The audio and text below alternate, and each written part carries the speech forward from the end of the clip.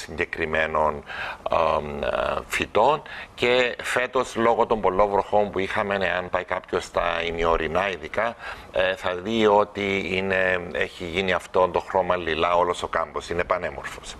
Ε, να πώς πούμε... το καταναλώνουμε τώρα, πώς το χρησιμοποιούμε στην μπορούμε και, Ναι, ωραία. Εντάξει, μπορούμε και φρέσκο να το κάνουμε τσάιν, αλλά συνήθως για τους μαθητές αυτό είναι δύσκολο. Έτσι προτείνουμε να χρησιμοποιήσουν το βάμμα του γαϊδουράγκαθου. Όταν μιλούμε για βάμμα εννοούμε σε υγρή μορφή, το οποίο συνήθως φτιάχνουμε σε φυτική γλυκερίνη. ε, ο γαϊδουράγκαθος είναι το, το καλύτερο βότανο το οποίο αποτοξινώνει το σηκώτη, καθαρίζει το σηκώτη και όπως γνωρίζετε το σηκώτη είναι το όργανο το οποίο θα διαχειριστεί ε, όλες τις χημικές διαταραχές που μπορεί να έχουμε στον οργανισμό όπως είναι και το στρες. Έτσι ξεκινούμε από εδώ. Όταν έχουμε έναν αποτοξινωμένο καθαρό σηκώτη σημαίνει θα έχουμε και διάβγεια, ε, θα μπορούμε να διαχειριστούμε το στρες καλύτερα αλλά είναι και ένα βότανο το οποίο βοηθάει και σε σοβαρά προβλήματα υγείας όπως είναι κύρωση σηκωτιού ή έχω προσέξει ότι πολλές φορές άτομα δεν μπορούν να χάσουν για παράδειγμα βάρος ε, με διάφορα ενώ όταν τους δώσουμε το γαϊδουράγκαθον και δουλέψει ο μεταβολισμός, αποτοξινωθεί τότε ξεκινούμε να έχουμε πολύ καλύτερα αποτελέσματα. Έτσι ξεκινούμε πάντοτε από αυτό. Όμως για τους μαθητές έτσι το βότανο που πραγματικά θα πρότεινα αυτές τις μέρες κατά τη διάρκεια των εξετάσεων είναι ένα βότανο της κινέζικης ιατρικής το οποίο ονομάζεται γινόστεμα πενταφύλιου. Είναι ένα βότανο το οποίο έχουμε... Εντελώς αγνώστο. Ναι. Ε, έχουμε κάποιες μικρές καλλιέργειες στην Κύπρο, ε, παρόλο που είναι δύσκολο φυτό και συνήθως οι καλλιέργειες γίνονται σε θερμοκήπια. Το χειμώνα βασικά έχει πρόβλημα, δεν του αρέσει καθόλου το κρύο. Είναι ένα βότανο όμως το οποίο όταν το πιούν το πρωί οι μαθητές τους δίνει ε, πάρα πολύ ενέργεια, μειώνει το στρες ε, και τους δίνει το λεγόμενο στα αγγλικά concentration, δηλαδή προσήλωση εκεί, τη συγκέντρωση, τη συγκέντρωση που, μπορούν, που χρειάζεται να έχουν κατά τη διάρκεια των εξετάσεων. Και όταν πιούν το ίδιο βότανο πριν κοιμηθούν το βράδυ, τους χαλαρώνει και τους αφήνει να κοιμηθούν. Διότι είναι πολύ σημαντικό να, ε, κατά τη διάρκεια των εξετάσεων, επειδή διαβάζουν και πάρα πολλές ώρες, να, έχουμε, να έχουν έναν πολύ καλό ύπνο. Διότι το, το, εάν δεν πέσουν στο βαθύ ύπνο, όπως λέμε το βράδυ, τότε δεν θα μπορέσουν την επόμενη να αποδώσουν όπως πρέπει. Και αυτή η υπερένταση αυτών των ημερών, το στρες, δεν τρώνε ούτε σωστά; Ακριβώς. Το άλλο που θα πρότεινα, διότι είναι το θέμα και της διατροφής ταυτόχρονα, είναι να ξεκινούν την ημέρα τους με τουλάχιστον μία κουταλιά ε, γύριν από τις μέλισσες. Έχουμε πολύ καλής ποιότητας πλέον κυπριακής γύρης, η οποία δίνει δύναμη, έχει αρκετά ένζημα, έχει αρκετές βιταμίνες μέσα ε, και κατά τη διάρκεια των εξετάσεων να καταναλώνουν πάρα πολλά φρέσκα φρούτα. Καλύτερα να αποφεύγουν τη ζωική φύσεω τροφή όπως είναι τα κρέατα και τα βαριά γαλακτοκομικά, διότι αυτά συνήθως φέρνουν και νύσταν, φέρνουν και ε, μια.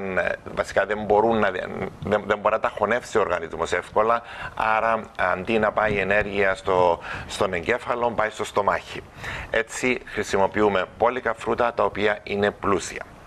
Ε, έναν άλλο βότανο το οποίο μειώνει αρκετά το στρες χωρίς να νιστάζει ε, τους μαθητές ή γενικά τον κόσμο που έχει πρόβλημα είναι το μελισσόχορτο. Είναι ένα βότανο που ονομάζεται το λατινικό είναι μελίσσα φυσινάλης. Έχει μια πολύ ωραία γεύση, μυρίζει σαν λεμόνι. Άρα είτε μπορούμε να το πάρουμε σαν τσάι, σαν ρόφημα ή σε υγρή μορφή, σε βάμμα ή σε κάψουλες. Πολλά βότανα πλέον ε, μπορούμε να τα πάρουμε σε τρεις μορφές.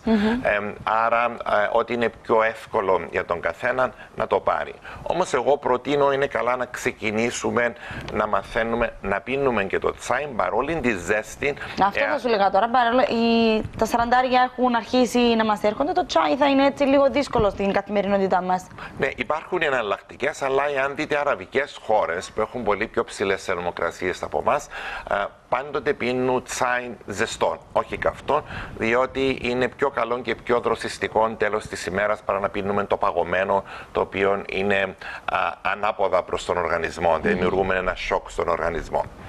Ε, εκτός από το μελισσόχορτο, τα άτομα τα οποία ειδικά έχουν πρόβλημα στον ύπνο το βράδυ, προτείνουμε να χρησιμοποιήσουν τη βαλεριάνα.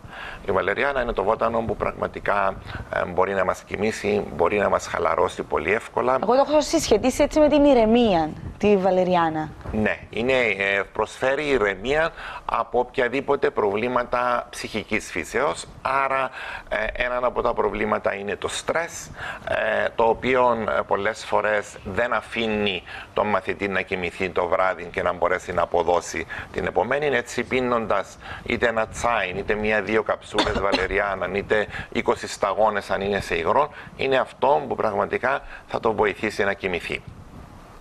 Ε, επίσης να πούμε ότι ε, υπάρχουν και βότανα τα οποία βοηθούν να μειώσουν το στρες γιατί πολλές φορές το στρες δημιουργεί στομαχικές αναταραχές ε, στα περισσότερα άτομα και το κυριότερο είναι το, το ανθόνερο από θρουμπίν. Το θρουμπίν είναι ένα βότανο το οποίο έχουμε άγριο στην Κύπρο σε μεγάλες ποσότητες και είναι και η εποχή ε, σε λίγες μέρες ξεκινά η άνθηση και διαρκεί συνήθως μέχρι το, τα μέσα του καλοκαιριού. Από το αθόνερο του θρουμπιού μπορούμε να βάζουμε λίγες σταγόνες σε λίγο νερό ε, μετά από κάθε γεύμα για να μην δημιουργείται, για να έχουμε καλή χώνευση βασικά βοηθάει πάρα πολύ για άτομα τα οποία έχουν προβλήματα παλιδρόμησης ή άτομα τα οποία έχουν και προβλήματα φουσκώματα στα έντερα.